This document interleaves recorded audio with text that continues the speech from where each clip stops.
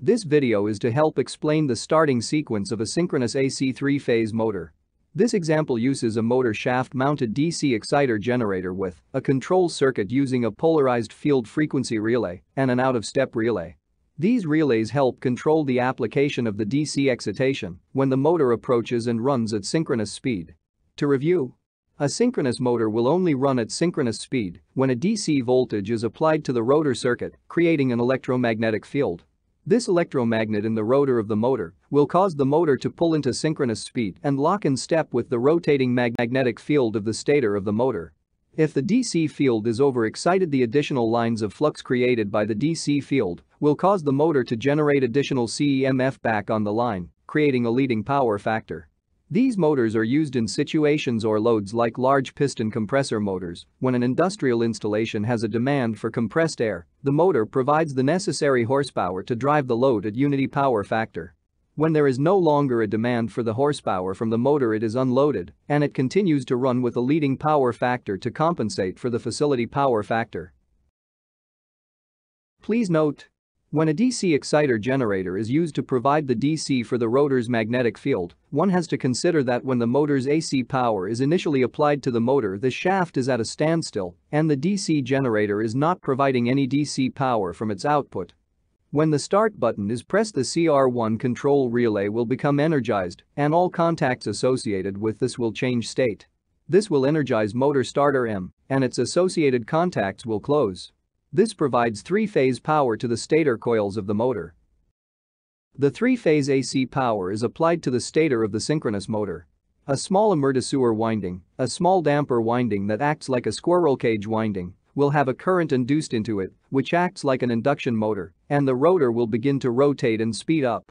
While this is happening the DC rotor coils are being cut by the stator's rotating magnetic field. The rate at which the AC current is induced to the DC rotor field coils is at a high frequency when the rotor is rotating slower and the frequency of the rotor circuit reduces as the motor approaches synchronous speed.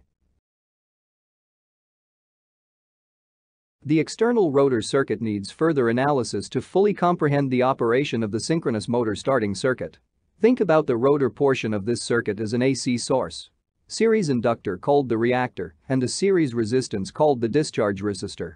Also pay attention to the AC coil of the polarized field frequency relay connected in parallel with the reactor. When the AC stator field is inducing the higher frequency current from the stator to the rotor, the DC exciter generator is not spinning very fast and not producing any DC voltage to energize the field relay coil F. And it will not have enough power applied to pull in the relay. The normally open contacts F will remain open. Therefore this highlighted series circuit is the only current path that is current induced from the stator three-phase rotating AC field. Here a simplified circuit is shown on the right. The inductive reactance of the reactor at a higher frequency will be proportional to frequency. The higher rate of change of the higher frequency will create more CEMF in the reactor coil. The series resistance and reactor create a series RL circuit. The proportion of voltage developed by the induced current in the rotor circuit will be fairly high since at this point the motor is experiencing inrush current and a large magnetic field flux is cutting the rotor conductors. The high voltage developed across the reactor due to the higher inductive reactance will cause current to flow through the polarized field frequency relay, energizing the AC coil of the PFFR. The DC exciter mounted on the shaft of the motor will begin turning and creating a DC voltage output. This will create current in the DC coil of the polarized field frequency relay.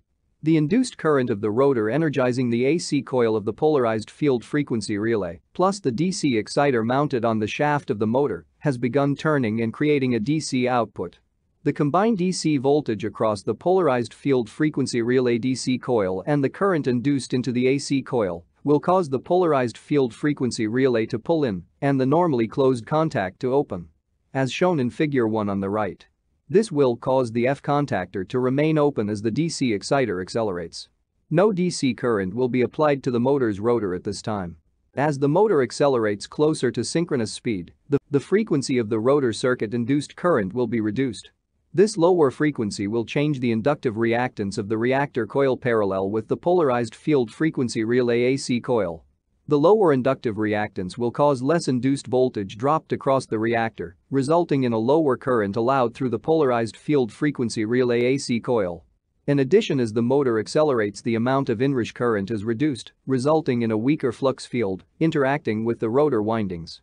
The polarized field frequency relay will no longer have enough of a magnetic field from the AC coil to remain pulled in. The DC coil magnetic field will then also take over and saturate the core of the AC coil, and the normally closed PFFR contact will close. This is shown in figure 2 on the right. The closing of the PFFR contact will now energize the field relay coil F with DC voltage, and normally open contacts F will close, and the normally closed contact F will open. The closing of the F contacts will result in DC excitation voltage being applied to the rotor of the motor. The applied DC will cause the rotor electromagnetic field to lock in step with the rotating magnetic field of the stator and run at synchronous speed. One item to discuss about the starting of the synchronous motor is the situation that may occur where the motor does not develop enough torque while starting to get up to near synchronous speed. This may be due to the smaller amortisseur winding not creating enough torque or a load connected to the motor shaft that exceeds the available pull-up torque of the motor during starting. The out-of-step relay is added to the control circuit.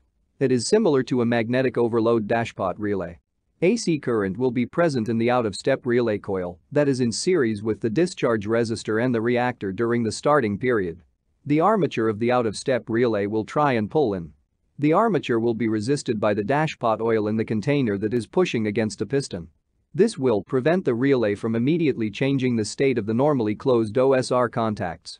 If the motor takes too long to synchronize and lock in step with the rotating magnetic field, the out-of-step relay will continue to push the piston up as the dashpot oil flows through the orifice holes in the piston. When the oil is all displaced the armature shaft of the out-of-step relay will come in contact with the push rod and open the contacts that are in series with the control relay CR and stop the motor. This will protect the motor when it fails to start. In review, synchronous motors need the DC excitation applied when the motor is started and has accelerated to near synchronous speed. A polarized field frequency relay PFFR, has an AC and DC coil this provides the ability to use the induced current in the rotor circuit to sense motor speed and apply the DC excitation to the rotor at the proper sequence of operation so it locks in step with the rotating magnetic field. An out-of-step relay is used to turn off the control circuit if a motor fails to start and lock in step with synchronous speed.